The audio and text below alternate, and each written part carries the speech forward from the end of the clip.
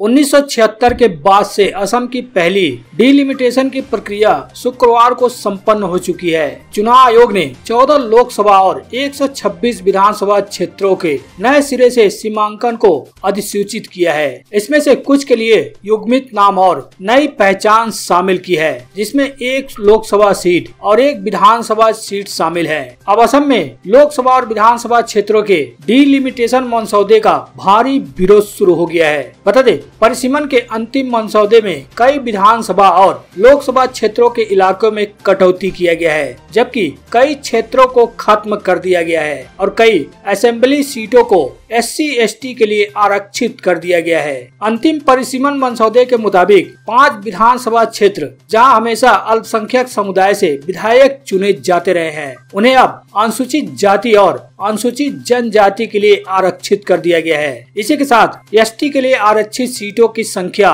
16 से बढ़कर अब 19 हो गई है, जबकि एससी के लिए आरक्षित सीटों की संख्या 6 से बढ़कर 8 हो गई है। लिहाजा परिसीमन के अंतिम मसौदे का विरोध तेज हो गया है। इसी का विरोध करते हुए सत्तारूढ़ भारतीय जनता पार्टी के सहयोगी पार्टी एजीपी के वरिष्ठ नेता और आमगुरी के विधायक प्रदीप हजारिका ने मसौदे के विरोध में पार्टी के सभी पदों से इस्तीफा दे दिया है। बता दे, हजारिका अमन गुरी निर्वाचन क्षेत्र से जीतते थे। नई परिसीमन में उसे खत्म कर दिया गया है। वहीं विपक्षी दलों ने भी इसकी आलोचना करते हुए कहा कि अपना राजनीतिक भविष्य सुरक्षित रखने की सत्तारूढ़ बीजेपी की एक चाल करार दिया है। कांग्रेस सांसद गौरव गोगोई ने कहा कि चुनाव आयोग ने 22 साल पुरानी जनगणना के आधार पर 2023 में असम का परिसीमन प्रकाशित किया है। इसलिए लोकसभा सीटों में वृद्धि के मामले में असम को कोई लाभ नहीं होगा। नतीजा यह है कि बीजेपी के वोटिंग रुझानों के अनुरूप मौजूदा सीटों का पुनर्गठन किया गया है। उनका कहना है कि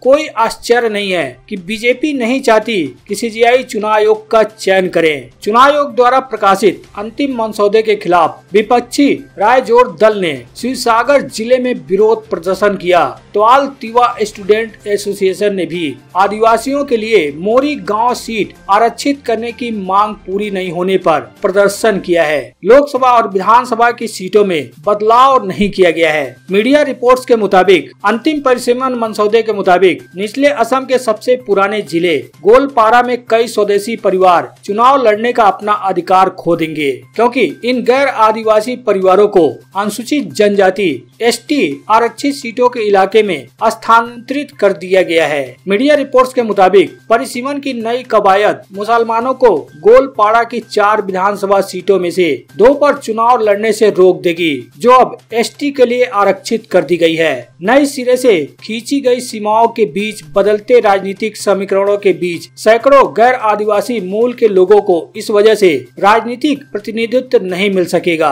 अब आरोप है कि असम में, खासकर निचले असम में, परिसीमन का उद्देश्य कथित तौर पर मुसलमानों की भूमिका को कम करना था। रिपोर्ट में कहा गया है कि रिपोर्ट को अंतिम रूप देने से पहले 1200 से अधिक अभ्यावेदन पर विचार किया गया। आयोग को प्राप्त सुझाव और आपत्तियों में से 45 प्रतिशत का अंतिम आदेश में समाधान किया गया। राज्य के सभी विधानसभा और संसदीय निर्वाचन क्षेत्रों का परिसीमन 2001 की जनगणना के आधार पर किया गया। उसमें कहा, जनगणना आयुक्त की ओर से प्रकाशित 2001 की जनगणना के आंकड़ों पर ही इस उद्देश्य के लिए विचार किया गया है। निर्वाचन आयोग का कहना है कि जनता की मांग को देखते हुए एक संसदीय और कुछ विधानसभा क्षेत्रों को युग्मित नाम दिए गए हैं। वहीं बोडोलैंड क्षेत्र में विधानसभा क्षेत्रों की संख्या 11 से बढ़ाकर 15 कर दी गई है। मानक चार विधानसभा क्षेत्र का नाम बदलकर वीर सिंह जरुआ कर दिया गया है। साउथ, सलमारा का नाम अब मानक चार कर दिया गया है। मानिकपुर का